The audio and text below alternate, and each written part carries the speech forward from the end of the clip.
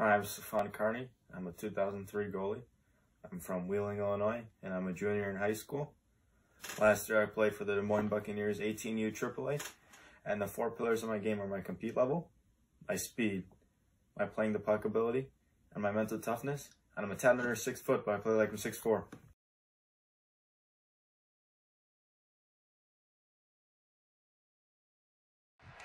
Sapien circles around center slot, takes a shot, and a glove save by Carney, and we have way over to Boom.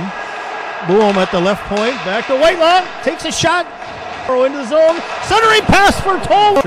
Now here's Whitelaw coming in front, centering shot.